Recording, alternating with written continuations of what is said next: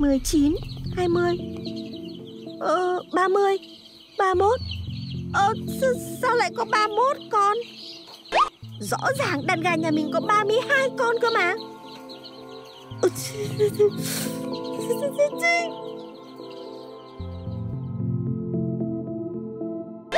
Cái con gà trống to Lông mượt nhất đàn không có ở đây. Thằng nào ăn trộm con gà trống của bà rồi? Cả đàn gà của bà Sáng bà thả ra, Tối bà bắt về, Bà giữ cũng không được. Này bớ làng trên xóm dưới, Bớ xóm giềng xóm tỏi, Có đứa nào chót nhỡ tay, Ăn cắp con gà trống đẹp nhất đàn của bà, Thì banh lỗ tai, Vạch lỗ nhĩ lên mà nghe bà chửi đây này.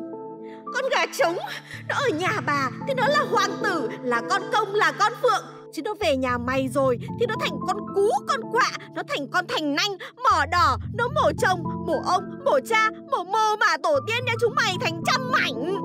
Bà Bà mang xuống ao cho cá nó rỉa, Bà mang lên bờ cho chó nó liếm.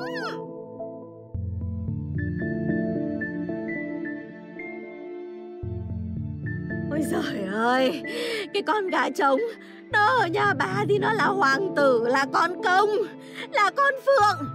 Chứ nó về nhà mày rồi, Thì nó thành con cú, con quạ.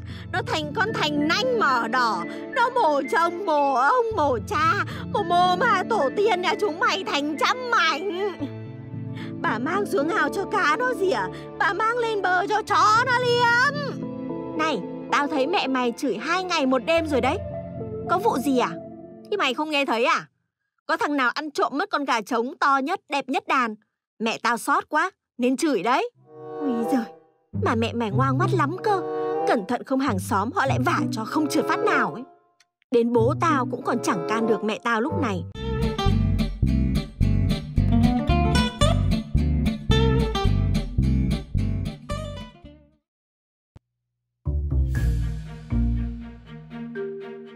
Bà là bà biết đứa nào lấy cái áo của bà rồi nhá.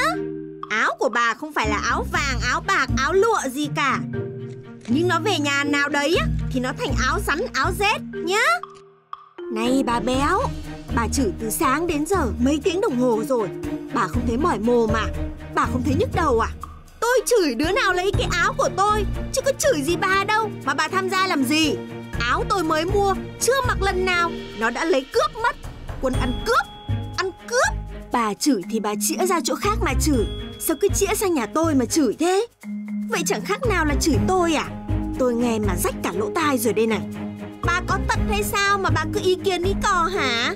Bà không lấy thì bà sợ cái gì? Nhưng tôi thấy nhức đầu lắm. Nhà tôi ở sát ngay nhà bà. Bao nhiêu lời hay ý đẹp của bà tôi hưởng hết. Không bực mình mới là lạ. Đấy là việc nhà bà chứ. Còn tôi chửi là việc của tôi. Đấy, bà con xem đấy. Có cái áo thôi Mà nay nó ăn trộm Mai nó ăn cắp. Không không chứng Mà nó dám chĩa mồm sang nhà tôi nói sỏ nói xiên. Đấy, bà con xem Thế là ai đúng ai sai? Ai có tật thì giật mình nhá. Gớm Ai mà biết được Biết đâu có kẻ giấu áo đi Rồi vu vạ Bắt đền người khác cũng nên. À Bà nói cái gì hả? Bà thích đánh nhau đúng không? Ai báo liên trưởng đi Có khi hai người đánh nhau đến nơi rồi. Lại dám bắt nạt con tôi thế hả? Chẳng ai bắt nạt con bà cả. Nó ăn trộm ăn cắp Tôi bắt lại thôi. Ai? Ai dám đặt điều cho con tôi? Trẻ con thì biết cái gì mà ăn trộm ăn cắp. Con tôi ở nhà ngoan lắm. Đừng có gắp lửa bỏ tay người nhá. Đây con bà ngoan đây. Ngoan mà thế à? À hay là do bà vẫn ấm ức chuyện ngày trước? Bà không chịu thua tôi Nên mới sai thằng con sang phá tôi. Chứ trẻ con thì biết cái gì hả Ơ, hay. Bà trông mâm cỗ cúng kiểu gì? Bây giờ bà bắt vạ con tôi là thế nào? Hóa ra là bấy lâu nay bà vẫn giận tôi, Nên giờ mới kiếm cớ gây sự với con tôi, đúng không? Tôi chẳng việc gì phải giận dỗi với cái loại chưa thấy người đã thấy tiếng. Tôi nói ai đặt điều cho con tôi ấy? Thằng mít mật lại gây họa rồi. Khổ lắm.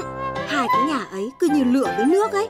Bà béo mồm lúc nào to như cháy nhà đến nơi rồi. Các cậu nghe họ nói gì không? Mít mật lại có chuyện rồi.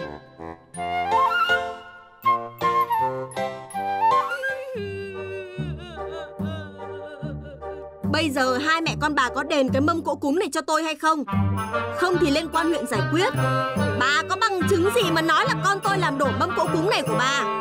Thế bà hỏi con bà xem, đang yên đang lành, nó vào sân nhà tôi làm gì? Con nói đi, con vào nhà bà ấy làm gì? Đấy, bà thấy chưa? Bà mắng nhất con tôi lại còn đặt điều cho nó Là nó sợ quá nên nó khóc từ bấy đến giờ đấy Không nói nhiều, đã thế lên quan huyện để ngài giải quyết Cần gì phải lên quan huyện giải quyết ạ? Có gì ngồi lại với nhau, từ từ rồi nói ạ. Tôi không thèm nói chuyện với bà. Tôi không thèm nói chuyện với bà. May quá, Hồng Xiêm đây rồi. Cháu phân xử giúp cô chuyện này. Cháu thông minh, cháu giúp cô việc này đi. Chứng minh thủ phạm cho cô.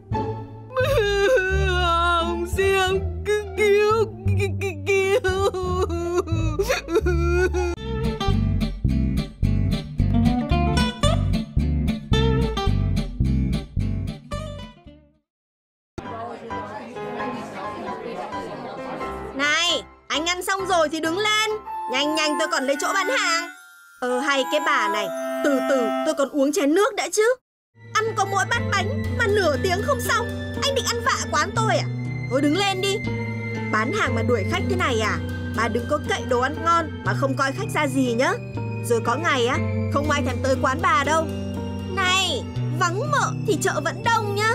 Ăn được thì ăn, Không ăn thì biến. Quán bà đông, Bà cốc cần nhá.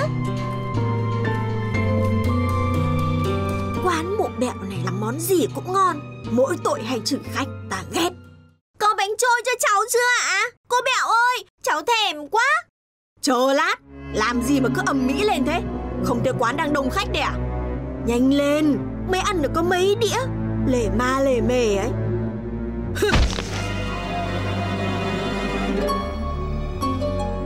Cô bẹo ơi Cho cháu hai đĩa bánh trôi ạ. Hết rồi Lúc khác quay lại ăn Nhà mình còn mà mẹ. Để cho các bạn con đi. Con là của khách. Cha con phú ông ăn còn chưa đủ.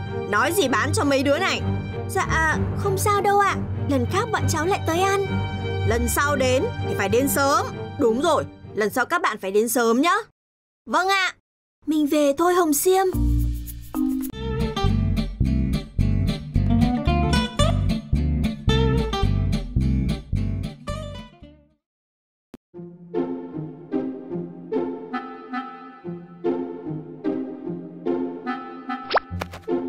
Gian lận thế.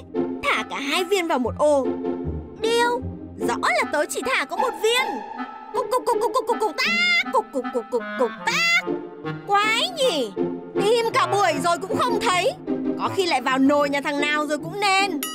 Đứng lên, Tìm gà cho mẹ. Con với cái, Ăn mấy cái roi bây giờ.